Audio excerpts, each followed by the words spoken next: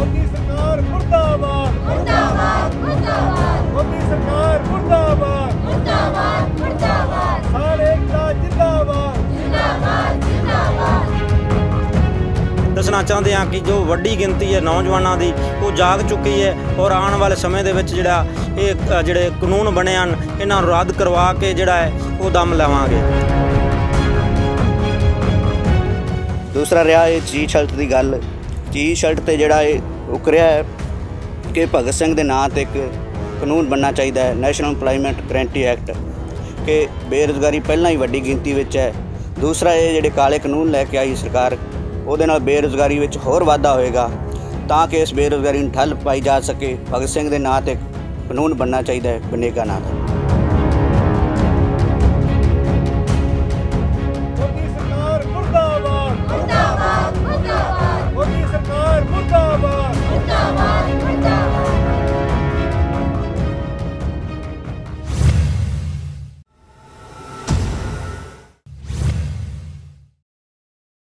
ਰੰਗਲਾ TV ਦੇਖ ਰਹੇ ਸਾਰੇ ਦਰਸ਼ਕਾਂ ਦਾ ਸਵਾਗਤ ਹੈ।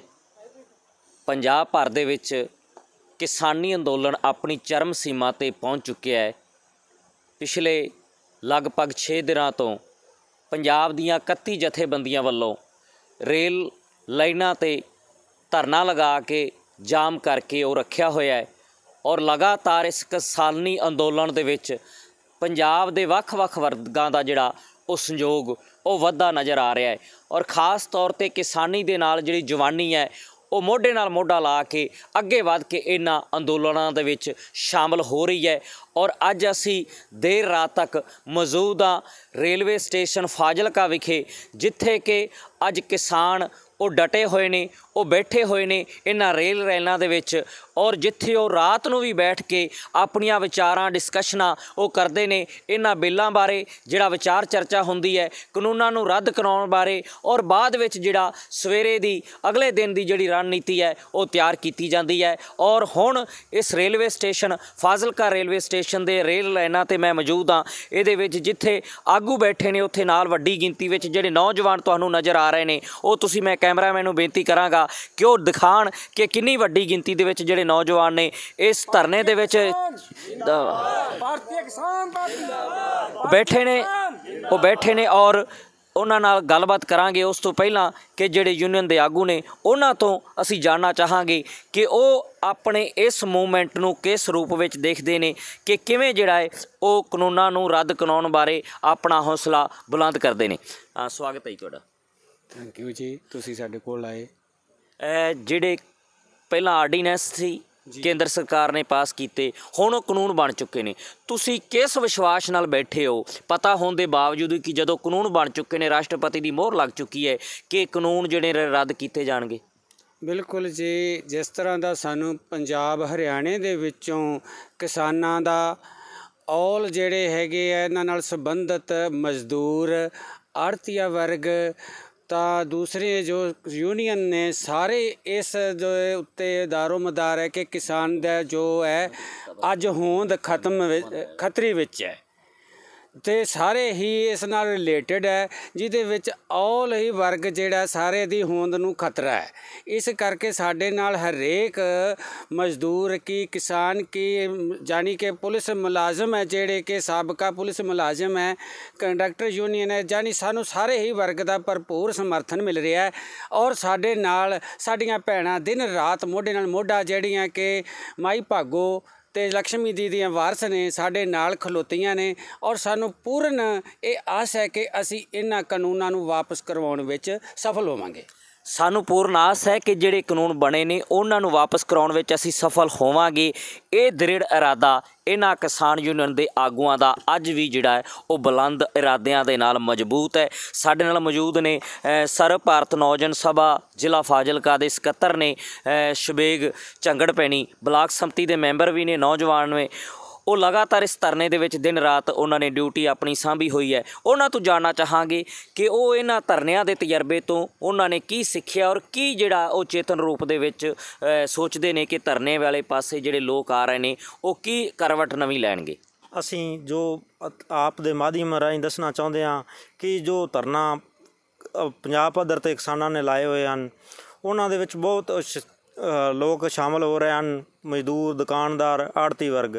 ਤੇ ਨਾਲ ਹੀ ਸਾਡੀਆਂ ਭੈਣਾਂ ਬਹੁਤ ਵਧੀਆ ਸਹਿਯੋਗ ਕਰ ਰਹੀਆਂ ਹਨ। ਤੇ ਇਹ ਮੈਂ ਤੁਹਾਡੇ ਮਾਧਿਅਮ ਰਾਹੀਂ ਦੱਸਣਾ ਚਾਹਾਂਗਾ ਕਿ ਜੋ ਪਾਰਟੀਆਂ ਦੇ ਲੀਡਰ ਨੇ, ਜਿਨ੍ਹਾਂ ਨੂੰ ਉਧਰ ਨੂੰ ਕੂਚ ਕਰਨਾ ਚਾਹੀਦਾ ਸੀ ਦਿੱਲੀ ਨੂੰ, ਉਹ ਬਕਾਇਦਾ ਦਿੱਲੀ ਛੱਡ ਕੇ ਇਧਰ ਨੂੰ ਜਿਹੜਾ ਆਪ ਦੀਆਂ ਰਾਜਨੀਤੀ ਰੋਟੀਆਂ ਸੇਕਣ ਦੇ ਵਾਸਤੇ 2022 ਨੂੰ ਮੱਦੇ ਨਜ਼ਰ ਰੱਖਦੇ ਹੋਏ ਇਧਰ ਆ ਰਹੇ ਹਨ। ਔਰ ਕਿਉਂਕਿ ਉਹਨਾਂ ਨੂੰ ਚਾਹੀਦਾ ਦਿੱਲੀ ਦੇ ਵਿੱਚ ਲੜਾਈ ਲੜਨੀ ਆਮ ਆਦਮੀ ਪਾਰਟੀ ਜਿਵੇਂ ਉੱਥੇ ਦੇ ਉਹਨਾਂ ਦੇ ਐਮਐਲ ਜਿੱਤੇ ਹੋਏ ਨੇ, ਤਾਂ ਉਹਨਾਂ ਦਾ ਇੱਕ ਘਰੇ ਬੈਠੇ ਨੇ ਜਿੱਥੇ ਉਹਨਾਂ ਲੜਾਈ ਲੜਨੀ ਹੈ।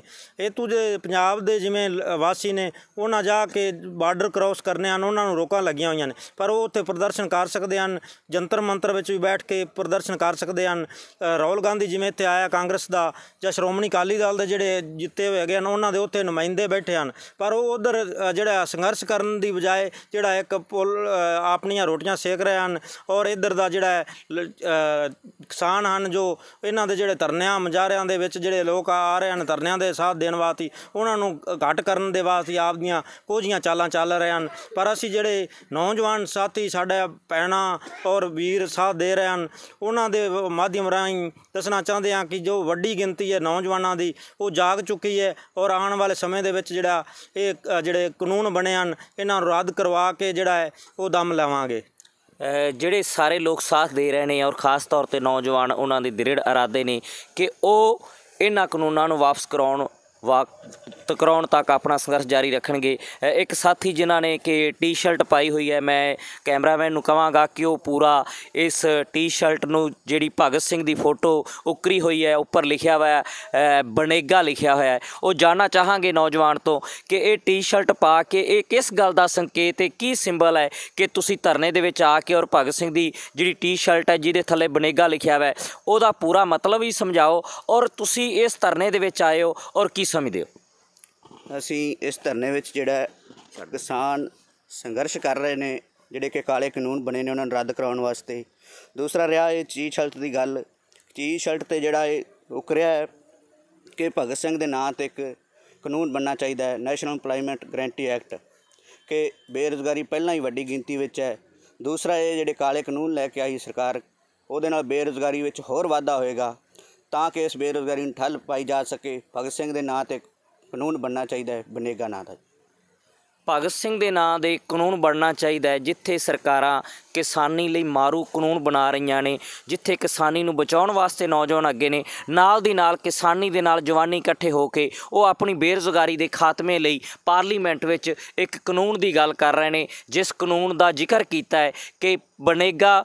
Bhagat Singh national EMPLOYMENT guarantee act ਉਹ ਪਾਸ ਹੋਣਾ ਚਾਹੀਦਾ ਹੈ। ਇਹ ਵੀ ਇੱਕ ਵੱਡੀ ਵਡਿਆਈ ਦੀ ਗੱਲ ਹੈ ਕਿ ਇਹਨਾਂ ਸੰਘਰਸ਼ਾਂ ਦੇ ਵਿੱਚੋਂ ਜਦੋਂ ਇਸ ਤਰ੍ਹਾਂ ਦੀ ਆਵਾਜ਼ ਉੱਠੇਗੀ ਤਾਂ ਸਵੱਛ, ਇਹ ਪੱਕੇ ਤੌਰ ਤੇ ਗਰੰਟੀ ਨਾਲ ਹੈ ਕਿ ਜਵਾਨੀ ਕਿਸਾਨੀ ਜਦੋਂ ਮਿਲ ਕੇ ਲੜੇਗੀ ਤੇ ਸਾਰੀਆਂ ਪ੍ਰਾਪਤੀਆਂ ਜਿਹੜੀਆਂ ਹੋਣਗੀਆਂ, ਸਾਡੇ ਨਾਲ ਇੱਕ ਹੋਰ ਨੌਜਵਾਨ ਜਿਹੜੇ ਮੌਜੂਦ ਨੇ ਸਾਥੀ ਨਵਨੀਤ ਨੇ, ਜਿਹੜੇ ਕਿ ਇਸ ਉਮਰ ਦੇ ਵਿੱਚ ਇੱਕ ਗ੍ਰਾਮ ਸਭਾਵਾਂ ਦੇ ਵਿੱਚ ਵੀ ਕੰਮ ਕਰ ਰਹੇ ਨੇ।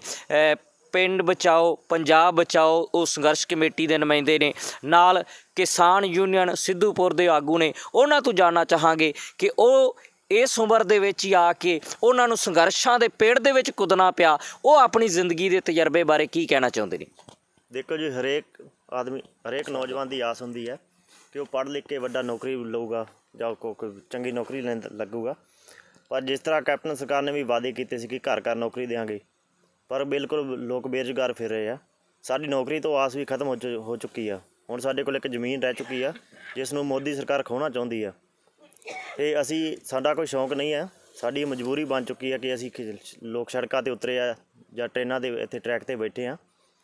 ਹੁਣ ਸਾਡੀ ਇੱਕ ਜ਼ਮੀਨ ਹੀ ਰਹਿ ਚੁੱਕੀ ਆ ਸਾਡੇ ਕੋਲੇ, ਜਿਸ ਨੂੰ ਅਸੀਂ ਬਚਾਉਣ ਵਾਸਤੇ ਇੱਥੇ ਦਿਨ ਰਾਤ ਅਸੀਂ ਇੱਥੇ ਧਰਨੇ ਤੇ ਬੈਠ ਰਹੇ ਹਾਂ ਜੋ ਮੋਦੀ ਸਰਕਾਰ ਵੱਲੋਂ ਆਰਡੀਨੈਂਸ ਜਾਰੀ ਕੀਤੇ ਗਏ ਆ, ਇਹ ਬਿਲਕੁਲ ਕਿਸਾਨ ਵਿਰੋਧੀ ਆ।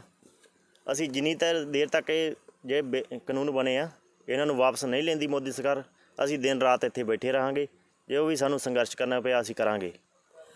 ਜਦੋਂ ਤੱਕ ਮੋਦੀ ਸਰਕਾਰ ਇਹਨਾਂ ਕਾਨੂੰਨਾਂ ਨੂੰ, ਖੇਤੀ ਕਾਨੂੰਨਾਂ ਨੂੰ ਜਿਹੜੇ ਕਿ ਕਿਸਾਨ ਵਿਰੋਧੀ ਬਣੇ ਨੇ, ਉਹ ਵਾਪਸ ਨਹੀਂ ਲੈਂਦੀ, ਉਸ ਸਮੇਂ ਤੱਕ ਇਹ ਜਵਾਨੀ, ਇਹ ਕਿਸਾਨੀ, ਇਹਨਾਂ ਰੇਲ ਰੈਨਾਂ ਤੇ ਉਹ ਡਟੀ ਰਹੇਗੀ ਔਰ ਇਹ ਜਿਹੜੀ ਆਵਾਜ਼ ਹੈ ਇਹ ਬੁਲੰਦ ਆਵਾਜ਼ਾਂ ਜਿਹੜੀਆਂ ਨੇ, ਗਰਜਵੀਂ ਆਵਾਜ਼ ਦੇ ਵਿੱਚ ਅੱਧੀ ਰਾਤ ਨੂੰ ਜਦੋਂ ਗੂੰਜ ਰਹੀਆਂ ਨੇ, ਤਾਂ ਫਿਰ ਮੋਦੀ ਦੇ ਤਖਤ ਨੂੰ ਹਿਲਾਉਣ ਦੀ ਤਾਕਤ ਇਹ ਰੱਖਦੀਆਂ ਨੇ ਔਰ ਭਵਿੱਖ ਇਹ ਗੱਲ ਤੈਅ ਕਰੇਗਾ ਕਿ ਜਿਹੜੇ ਕਾਨੂੰਨ ਖੇਤੀ ਦੇ ਕਾਨੂੰਨ ਨੇ, ਖੇਤੀ ਨਾਲ ਸੰਬੰਧਿਤ ਕਾਨੂੰਨ ਨੇ, ਜਿਹੜੇ ਮੋਦੀ ਸਰਕਾਰ ਨੇ ਇਤਿਹਾਸ ਦੇ ਕਾਲੇ ਪੰਨਿਆਂ ਤੇ ਇਹ ਲਿਖ ਕੇ ਕਿ ਦੇਸ਼ ਦੀ ਪਾਰਲੀਮੈਂਟ ਵਿੱਚ ਇਹ ਪਹਿਲੀ ਵਾਰੀ ਵਾਪਰਿਆ ਹੋਵੇ ਕਿ ਬਿਨਾਂ VOTING ਤੋਂ ਇੱਕ ਵਾਇਸ ਦੇ ਨਾਲ, ਆਵਾਜ਼ ਦੇ ਨਾਲ ਇਹ ਕਾਨੂੰਨ ਪਾਸ ਕੀਤੇ ਗਏ ਨੇ। ਉਹਨਾਂ ਨੂੰ ਚੈਲੰਜ ਕਰਨ ਵਾਸਤੇ ਪੰਜਾਬ ਦੀ ਕਿਸਾਨੀ, ਪੰਜਾਬ ਦੀ ਜਵਾਨੀ ਉਹ ਖੜੀ ਹੋਈ ਹੈ ਔਰ ਖਾਸ ਤੌਰ ਤੇ ਪੰਜਾਬੀਆਂ ਦਾ, ਪੰਜਾਬ ਦੇ ਲੋਕਾਂ ਦਾ ਇਤਿਹਾਸ ਹੈ ਕਿ ਉਹਨਾਂ ਨੇ ਜਦੋਂ ਵੀ ਸ਼ੁਰੂਆਤ ਪੰਜਾਬ ਤੋਂ ਕੀਤੀ ਹੈ ਤੇ ਆਵਾਜ਼ ਜਿਹੜੀ ਹੈ ਉਹ ਤਬਦੀਲੀ ਹੋਈ ਹੈ, ਉਹ ਚੇਂਜਸ ਹੋਈ ਹੈ ਰੈਵੋਲੂਸ਼ਨ ਹੋਇਆ ਹੈ। ਇਸ ਲਈ ਇਹ ਜਿਹੜੇ ਧਰਨੇ ਨੇ, ਇਹ ਜਿੱਤ ਦਾ ਸੰਕੇਤ ਦੇ ਰਹੇ ਨੇ, ਤਬਦੀਲੀ ਦਾ ਸੰਕੇਤ ਦੇ ਰਹੇ ਨੇ।